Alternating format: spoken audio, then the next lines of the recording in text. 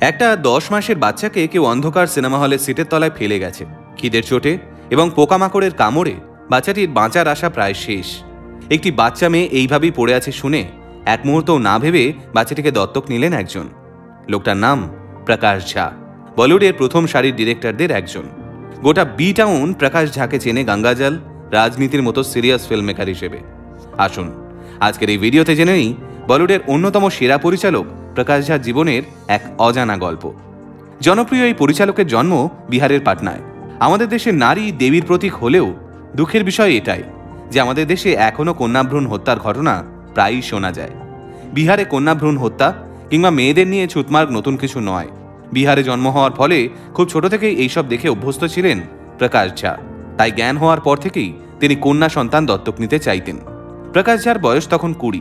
সেই সময় তিনি পুনে টেলিভিশন অ্যান্ড ফিল্ম ইনস্টিটিউটের ছাত্র।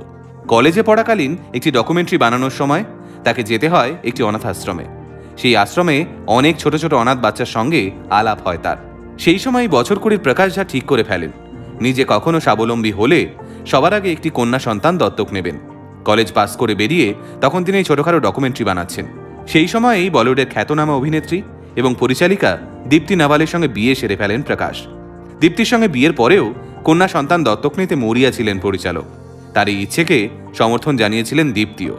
বিয়ের পরেই সন্তান ধারণের পরিকল্পনা করেছিলেন প্রেমিক যুগল। একে অপরকে প্রচণ্ড ভালোবাসতেন তারা। কিন্তু বিয়ের কিছুদিনের মধ্যেই তাদের সুখের সংসার ভেঙে যায়। দীপ্তি যখন আট মাসের অন্তঃসত্ত্বা, সেই সময় নষ্ট হয়ে যায় গর্ভে থাকা শিশু। এই ঘটনা প্রকাশ ঝা কিংবা দীপ্তি নাভাল দুজনের কেউই সহ্য করতে পারেনি দুজনের মধ্যে ভালোবাসা থাকলেও বিবাহ বিচ্ছেদের সিদ্ধান্ত নেন তারা।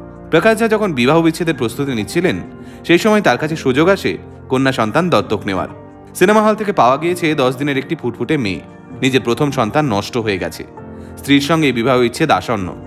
এই সময় ওই দশ দিনের ফুটফুটে শিশুটিই হয়ে ওঠে প্রকাশ ঝার একাকিত্বের একমাত্র সঙ্গী।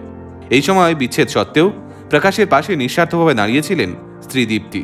দত্তক নেওয়ার সময় কাগজে কলমে মা হিসেবে নিজের নাম দিয়েছিলেন তিনি। এমনকি দীপ্তি দেবী আদর করে মেয়েটির নাম রেখেছিলেন দিশা। তবে কন্যা দিশাকে অধিকাংশ সময় একা হাতেই সামলেছেন প্রকাশ ঝা। দিশার বয়স যখন ছয়, প্রকাশ তখন মেয়েকে দত্তক নেওয়ার সমস্ত ঘটনা খুলে বলেন এবং যে জায়গা থেকে দিশাকে উদ্ধার করা হয়েছিল, সেখানে মেয়েকে নিয়েও যান প্রকাশ। দিশার বয়স যখন বারো, তখন তার আসল মা বাবার খোঁজ করার কথা তোলেন প্রকাশ ঝা, কিন্তু দিশা রাজি হননি। দিশা প্রকাশ ঝাকে উদ্দেশ্য করে বলেছিলেন, তুমি আমার মা এবং বাবা তুমি আমার সব। বর্তমানে দিশা একজন চিত্রনাট্যকার। দিশার লেখা কিছু কিছু চিত্রনাট্য পড়ে অবাক হয়ে যান প্রকাশ ঝা নিজেই। দিশার লেখা চিত্রনাট্য নিয়ে খুব তাড়াতাড়ি একটি সিনেমা হতে চলেছে।